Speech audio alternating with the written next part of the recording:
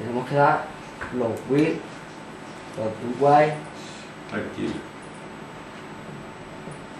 Ver si un número es par o impar.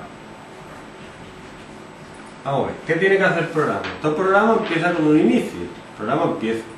¿Qué es lo primero que tiene que hacer? Tú imagínate que fuera el programa. ¿Tú qué harías? Lee primero los números, Sencillo, dime algo. ve primero los números, Leer un número, lo vamos a llamar n, ¿vale? Luego, ¿qué tiene que hacer? ¿Cómo sé yo si un número es par o impar? pues si se divide entre 2 y, y los Para representar- enteros, par. Esto representa así, ¿vale? Si n módulo 2 es igual a 0, sí y no. Si es que sí, tiene que poner par. Imprime par. Y si es que no, Imprime imprime impar. par. Y Fin. fin.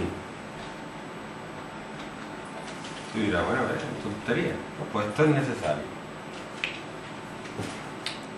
Te está faltando tiempo para hacerlo. Te doy cinco minutos. Venga. Es meterlo en Hombre, en serio.